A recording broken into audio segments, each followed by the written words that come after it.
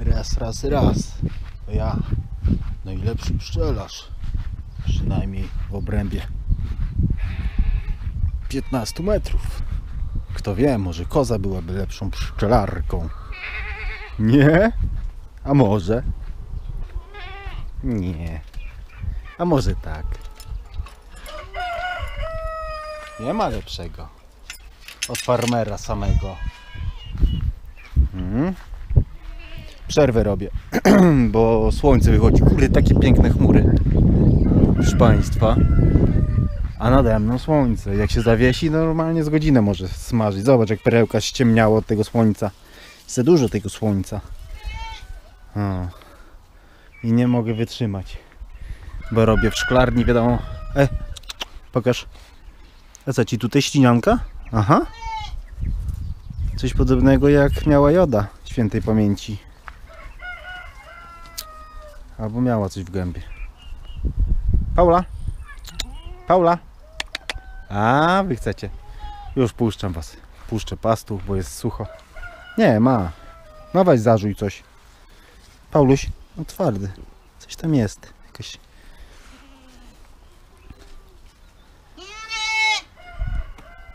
Dobra, puszczę, puszczę, puszczę. Idźcie. Będziecie miały zajęcie. O.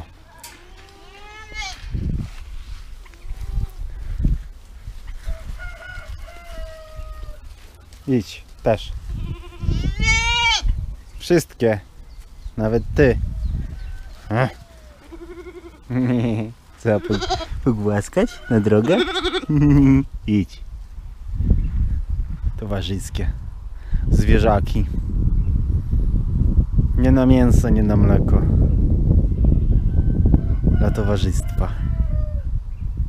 Dałoby to podciągnąć pod ten, pod zwierzę domowe. nie pod hodowlane, tylko domowe czy do towarzystwa, nie? No kurde. Niech mi udowodnią, że to nie do towarzystwa. Co to ma być zwierzę hodowlane? Perełka myśli, że to człowiek. Z ludźmi wychowana, odchowana. Proszę Państwa, nie odbierajmy takiego prawa kozom. Czemu one nie mają prawa myśleć, że, że są yy, na równi z człowiekiem? Mogą mieć takie prawo. Kto im zabroni? Nie? Jakie to jest dyskryminowanie, kurde. To człowiek powinien być od razu z miejsca taki. Za dyskryminowanie zwierzaka. Że chce bronić yy, poczucia, myślenia. O, słyszę szum. Kurczę. Mam nadzieję, że nie mają pożytku, tylko że tam latają, świrują, bo wczoraj dostały ramki. Oczywiście sła, słabszy odkład jest zabezpieczony, jeszcze tam z dwie rodziny słabsze też zabezpieczyłem, zmniejszyłem wylot, no więcej nie zrobię. A poruszenie czuć, widać. Wszystkie latają intensywnie. Tak więc nawet bym stwierdził, znaczy ogólnie jest parno, ale to przy takim o poruszeniu można by nawet powiedzieć, że pszczoły coś dorwały. No gdzieś tam łąki kwitną, nie? Wiecie, może gdzieś koniczyna jest blisko. Przyjrzyjmy się może z bliska i to wie, wiecie. No tu nie ma robunku, to normalnie zasuwa ta pszczoła, tak wygląda.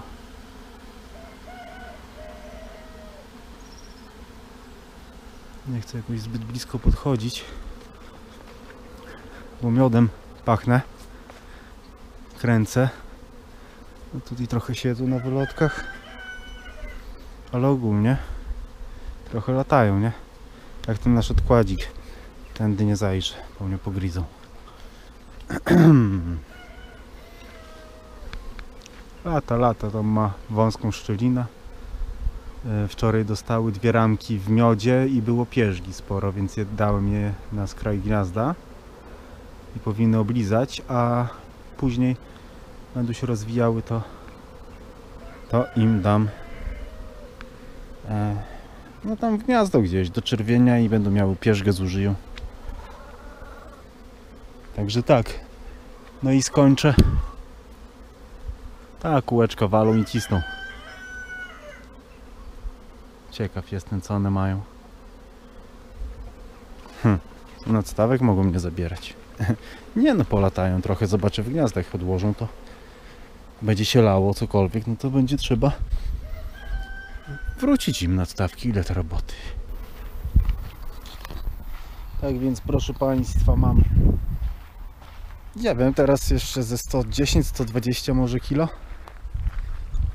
e, miodu i jeszcze kręcę. I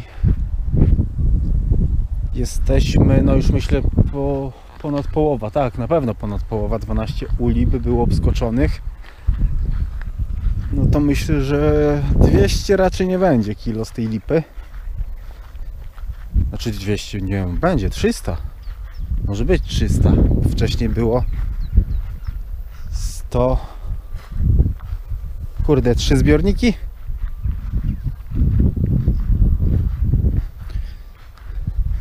A jeden czubaty liczyłem 47,5 kg, tak? Jakoś tak o 38 słoików. No to 150 kg, on kurde będzie 300 kg około. No to będzie prawie pół tony miodu. Ale tam kurde, widać cienie. Co, damy nura? Się lepiej poczuję, to może skończę, pójdę i się prześpię. Najlepsza opcja by była. Akurat słońce zajdzie. O, o, o. I walni nura.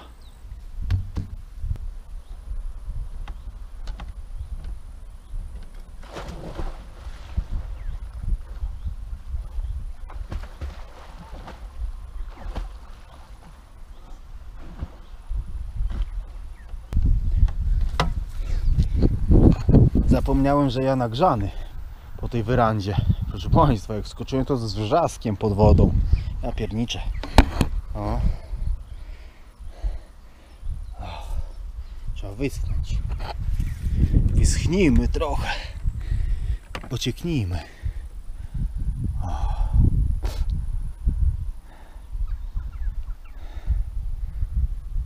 Kładkę trzeba by przesunąć.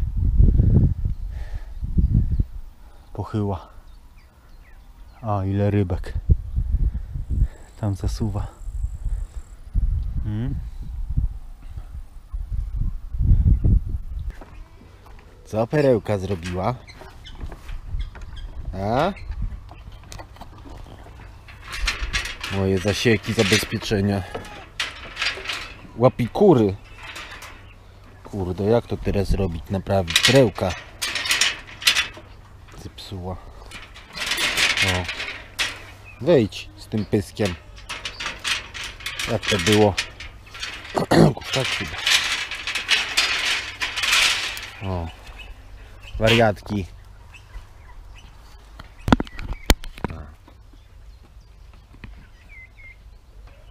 Wariatki.